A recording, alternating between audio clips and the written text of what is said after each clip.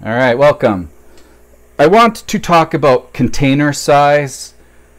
First, let me talk about uh, an observation that I see in our culturing station that, that I want to point out.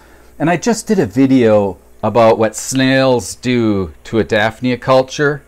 Um, you know, that we set this one up less than two weeks ago. This one here, I set up about a month ago, and the difference is snails and no snails. So I sell various cultures to my customers, but I usually send them in small containers that are cycled, right? So really what you're looking at is a Daphnia culture with no snails and a culture with snails. This culture was just recently started and obviously it's it's pretty sound and it's it's there, right? This one took much longer. This one I would just I would say just really fully cycled. And you know the difference with the snails and no snails is uh, the smaller one relies more on the biome to uh, decompose the food that's in there and Daphnia poop and dead Daphnia, right? So, you know, in this culture, the snails, anytime I drop some food in there, they just consume it and turns into poop, right? But that poop is uh, rich in the things that Daphnia consume. So, um, snails, no snails. Just with snails, your culture will cycle much faster. And I hate to say that it cycles because I really don't consider a, an aquarium or anything cycled until like the snail population has boomed, boomed, boom. So where the the snail population has boomed and died back and then recovered a little bit and found its happy medium. That's really cycled to me. So I don't know if I'd call this cycled, but it's pretty stable. And that's really what snails do. They'll bring some stability. This one too, I, I, I don't even want to say this is less stable. Just takes me a little longer to cycle it. So like I said, this has been going a month. I've been feeding it twice a week. The piece of fruit or vegetable, just the size of a grain of rice or two. Um, and I've been doing that the last month, and um, this culture is probably going to go back to my other shelf, and, and I'll ship it to a customer. Um, you know, and the reason for that is then you know the customer then can just put this under a light, and they have a have their own little culture, and, and then you can take starts from it to start your own culture. All right.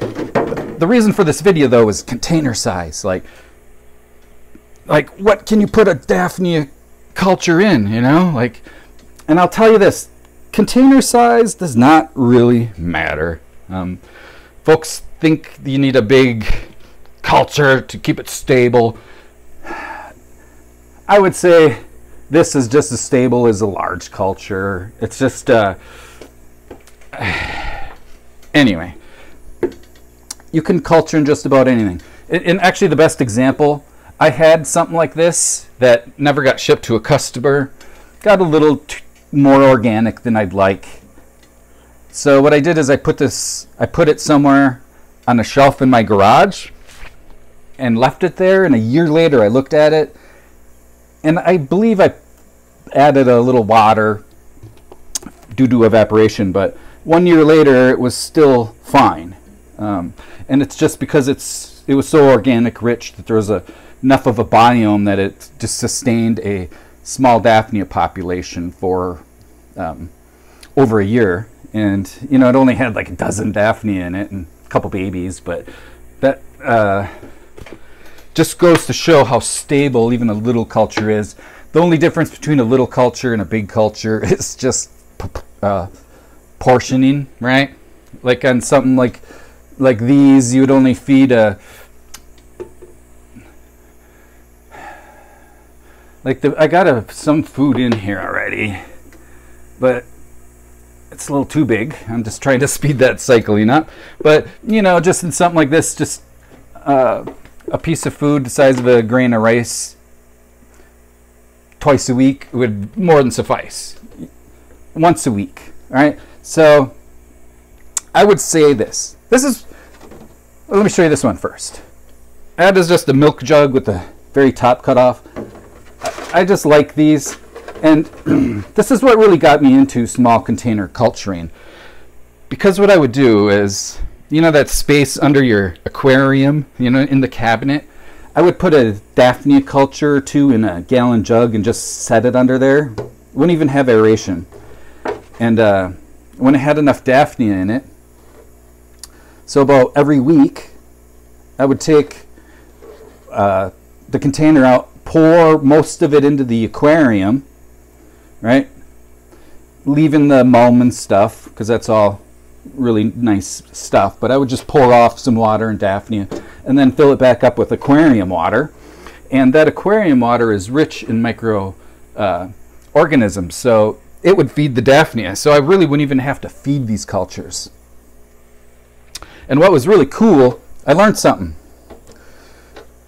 I learned that I could heat my aquariums with lights from underneath. So every aquarium that I own, not one of them has a heater in it. They're all heated by a light underneath the aquarium. So this uh, culture station you see, the light, it sits between, it's, it's actually uh, resting between a gap in the boards above it because there's a fish tank on it. And here, I'll show you. See that light strip? There's an aquarium above it. And that's how I heat all my aquariums. And I did that just by from culturing Daphnia. Because like I said, I would put a uh, gallon milk jug or two underneath that had a light and that would heat the aquarium and I would have Daphnia to feed my fish. Cool. So again, you know, and uh, honestly, if anybody wanted to bet against me on this, I bet you I could culture in something like this just as good as they could culture in the biggest of containers. I'd bet them anything I owned.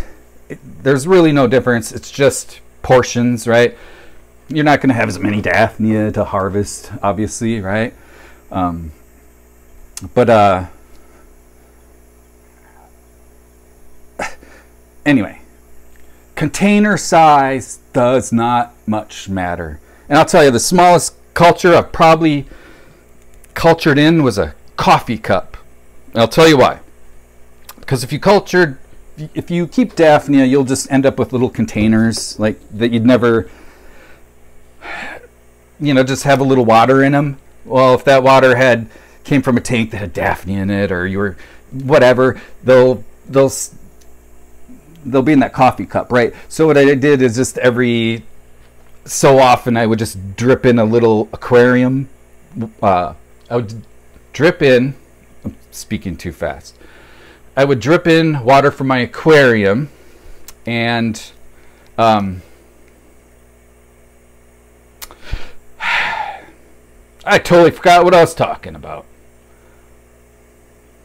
Oh, the coffee cup. Yeah. so I would just take a little aquarium water, throw in a little bit, and live for weeks. Like you'll just find out how easy Daphnia are, and they're so easy. It is just easiest when you're starting out to start them in a small container. You know, something like this when you're starting with Daphnia. I mean, you can have a half dozen of these. Like it's not a big deal. Throw them under a light, right? So the, again, this is probably my favorite container for small container culturing. It's just a gallon milk jug with the lid cut off. It just doesn't tip. You can sort of see through it, but shoe boxes and just about anything work.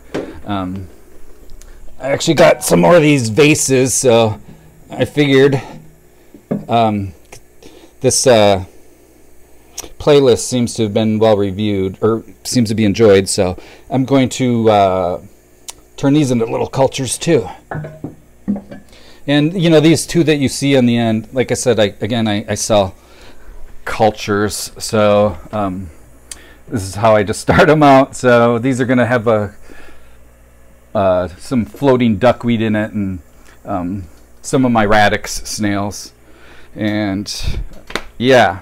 So container culturing, does not really matter what size container you culture Daphnia in as long as the your portion is, is the same. So again, something like this, you only need a a piece of food. Uh, let me use baby food for an example. So like pureed peas or carrots or anything. Sweet potato. Sweet potato, Daphne, it's probably one of their favorites. You only need like a drop or two in a container of this size. And that is not hard, okay? Because people think, oh, it's going to be a challenge. You know, a drop or two of uh, baby food in something like this is not challenging, okay? So container size, doesn't matter. I prefer the little cultures. Like I said, I, I started really with these small, very small containers just by keeping things like this under my fish tank, right? Put a little light on it, a little fluorescent screw-in bulb. I could keep a few of these under a fish tank and it's all the food I needed, right? So there you go.